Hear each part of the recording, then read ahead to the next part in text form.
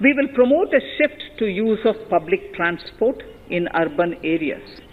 This will be complemented by clean tech and governance solutions, special mobility zones with zero fossil fuel policy and EV vehicles.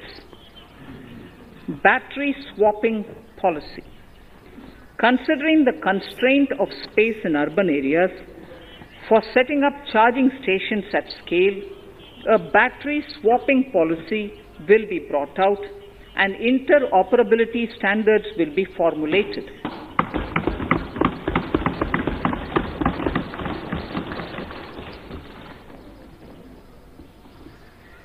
The private sector will be encouraged to develop sustainable and innovative business models for battery or energy as a service.